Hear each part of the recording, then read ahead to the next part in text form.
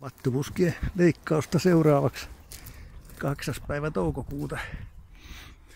Sehän yleensä pitäisi saada syksyllä tai viimeistään keväällä leikata nämä vanhat tästä pois. Ja tässä on nyt sakset narua ja katsoo minkälaista pistää. Kun tämä muurarilankakaan, niin ei tämä Tämäkin hapertuu parissa kolmessa vuodessa ja tässä on viime vuotista tuotu, se on vielä punaisena, mutta kyllähän tätä joutuu vähän paikkailemaan ottakaa yhteyttä pihapuutarhatöissä apua tarvitessanne talonmiespalvelun.gmail.com, niin saavutaan paikalle.